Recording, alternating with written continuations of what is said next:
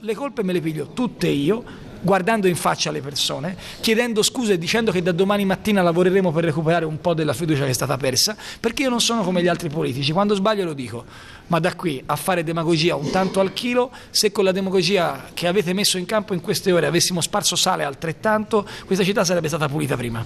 Così il sindaco Matteo Renzi risponde ai fuochi incrociati dell'opposizione nel giorno delle forche caudine in Consiglio Comunale.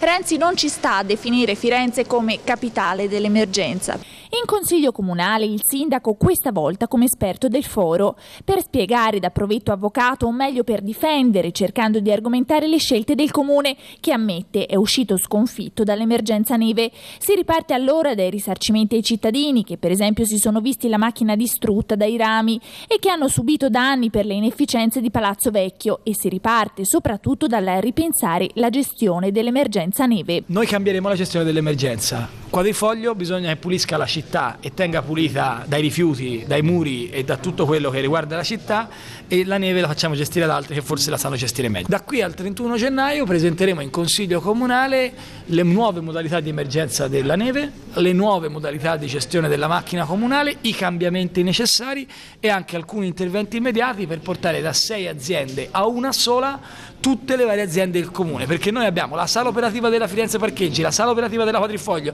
la sala operativa dell'ATAF, la sala operativa della Protezione Civile, la sala operativa della viabilità e poi alla fine d'operativo ci sono solo le sale. Ma dall'opposizione, anche per bocca di molti cittadini arrabbiati, qualcuno insiste a chiedere la testa dei responsabili, quei dirigenti che hanno palesemente sbagliato, dice Bianca Maria Giocoli. Se c'era un'allerta meteo magari andava fatto prima l'acquisto del sale, quindi questo secondo me è, deve essere responsabilizzato il dirigente che ha sbagliato e quindi forse la gente capisce eh, con appunto le teste che cadono.